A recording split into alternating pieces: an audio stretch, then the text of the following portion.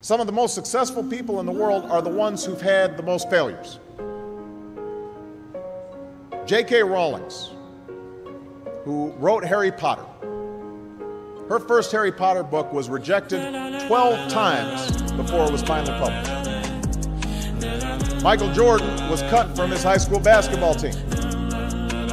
He lost hundreds of games and missed thousands of shots during his career, but he once said, I have failed over and over and over again in my life, and that's why I succeed.